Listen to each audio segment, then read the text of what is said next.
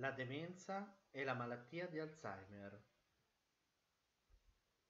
La demenza è una patologia cerebrale che compromette diverse facoltà cognitive rispetto a un livello precedentemente acquisito. Questi disturbi interessano la memoria e almeno una delle cosiddette facoltà cognitive superiori, quali il linguaggio, il riconoscimento di persone e oggetti, l'orientamento, la pianificazione e l'organizzazione della routine quotidiana. I disturbi devono essere di entità tale da limitare la persona impedendone di essere autonoma. Ne risulta spesso anche un cambiamento del comportamento e dell'umore del paziente, che diventa irrequieto, timoroso, depresso o soffre di deliri. La demenza non fa parte del naturale processo di invecchiamento. Si dice che è una patologia età correlata, ossia più si diventa anziani, più elevato il rischio di sviluppare tale patologia. La perdita di memoria delle altre facoltà cognitive rappresentano sempre un processo patologico e come tale vanno correttamente diagnosticate, indagate e trattate. Il sesso femminile, in ragione della maggior longevità, risulta più colpito rispetto al sesso maschile dalla demenza. Ma la demenza non colpisce solo le persone anziane. Il 5% dei pazienti dementi ha infatti meno di 65 anni in questa fascia di età sono più frequenti le forme rare ed ereditarie di demenza. La malattia di Alzheimer è la causa più frequente di demenza e determina una degenerazione dei neuroni e un'alterazione biochimica del sistema nervoso centrale. Ci sono molte altre cause di demenza. In tipi differenti di demenza viene colpita una parte diversa del cervello. La corteccia cerebrale è infatti organizzata in aree sensitive e motorie, vi sono poi le aree specializzate a svolgere, a svolgere compiti cosiddetti associativi, quali il ragionamento, la risoluzione dei problemi e il richiamo delle informazioni. La sede della memoria a breve termine è l'area denominata ippocampo, perché ha la forma di un cavalluccio marino. Nel cervello alzheimeriano la corteccia si raggrinzisce e atrofica, i ventricoli si dilatano e si riempiono di liquor e l'ippocampo è la parte che diventa più severamente atrofica. In questa foto potete vedere il confronto fra un cervello normale e un cervello affetto da malattia di Alzheimer. Si nota l'evidente grado di atrofia e la dilatazione dei ventricoli. A livello microscopico si è visto che la malattia si associa alla degenerazione di due proteine, la proteina tau che determina un sovvertimento dei microtubuli delle cellule neuronali e la beta-amiloide che si accumula all'esterno dei neuroni svolgendo un'azione tossica sul sistema nervoso centrale. Come detto in precedenza, la malattia di Alzheimer è la principale forma di demenza, ma non è l'unica. Va poi ricordata la demenza vascolare, causata da ischemie, ossia piccoli infarti che coinvolgono le aree associative, o la malattia a corpi di Levi, che presenta sintomi comuni fra la malattia di Alzheimer e il morbo di Parkinson. Fu nel 1901 che il medico tedesco Alois Alzheimer notò in una paziente ricoverata a Francoforte dei sintomi particolari. Oltre a disturbi comportamentali e a manie di persecuzione, insonnia e difficoltà di linguaggio, la paziente aveva perso completamente la capacità di ricordare semplici informazioni apprese poco tempo prima. La sua memoria a breve termine era inevitabilmente compromessa. Quando morì, il suo cervello fu analizzato e si scoprirono le alterazioni istologiche di cui abbiamo parlato prima. E più tardi la malattia prese il nome di malattia di Alzheimer.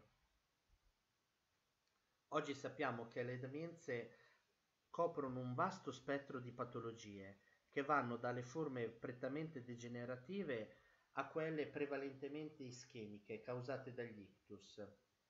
Abbiamo in mezzo però una serie di altre patologie e di forme miste nelle quali l'età avanzata e il sommarsi di patologie cardiovascolari quali l'ipertensione, l'ipercolesterolemia e il diabete svolgono anch'esse un'azione deleteria sul sistema nervoso centrale. Ma quali sono i sintomi della demenza? Innanzitutto il paziente dimentica più spesso appuntamenti, scadenze, bollette da pagare e questo, ricordo, deve essere di entità tale da generare un impatto funzionale. Inoltre il paziente non è più in grado di compiere azioni comuni che ha sempre svolto correttamente, quali cucinare, farsi il nodo alla cravatta o accudire il proprio cane. Può presentare anche perdita dell'orientamento, perdersi per strada, vagare senza meta o presentarsi smarrito e confuso.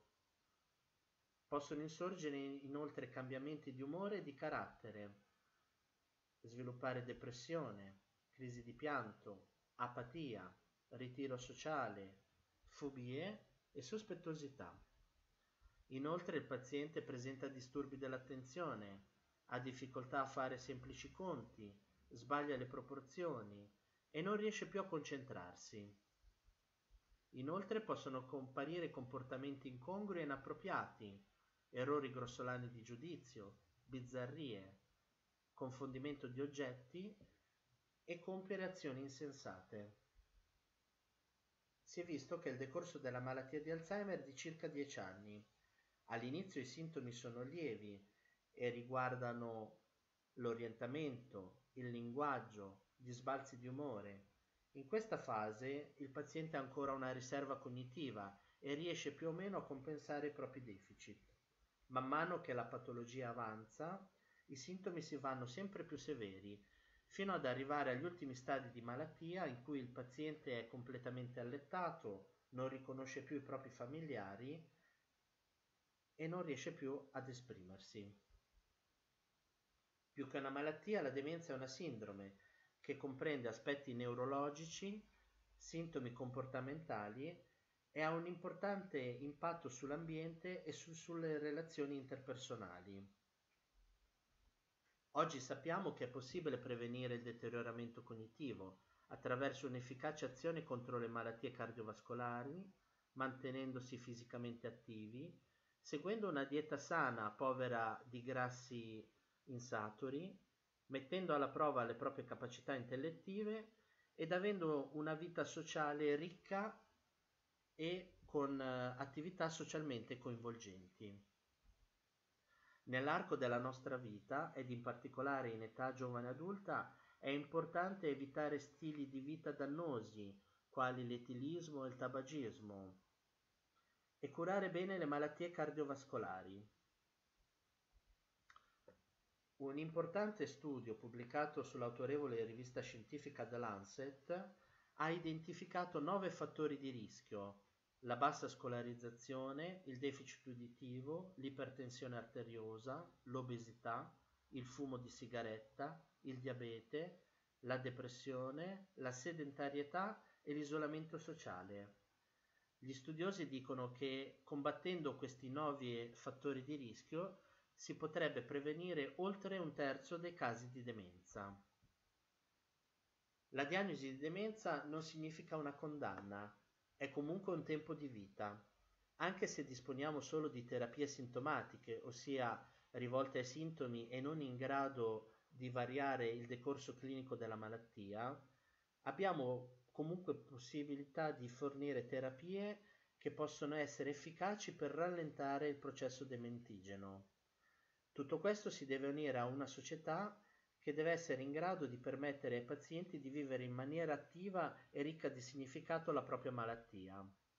È importante costruire comunità amiche della demenza e svolgere quindi un'azione di, eh, di prevenzione collettiva sulle conseguenze coll- eh, negative della malattia e questo si può fare ovviando alla riduzione delle reti familiari, amicali e delle relazioni di vicinato, sostenendo il volontariato, ridando significato alla vita collettiva, progettando la città del futuro, facendo incontrare domanda e offerta dei servizi alla persona e implementando e diffondendo l'utilizzo delle moderne tecnologie che possono aiutare molto i pazienti anziani con difficoltà. È inoltre necessario prevenire lo stigma ancora legato a questa malattia, combattere l'isolamento e la solitudine degli anziani, prevenire il peggioramento delle funzioni cognitive, fornire un ambiente adeguato a prevenire i disturbi comportamentali e incentivare l'utilizzo dei servizi sociali disponibili. Vi ringraziamo per l'attenzione e vi ricordiamo che la nostra equip medica è sempre a disposizione per rispondere a domande e quesiti di pazienti e dei, e dei loro familiari.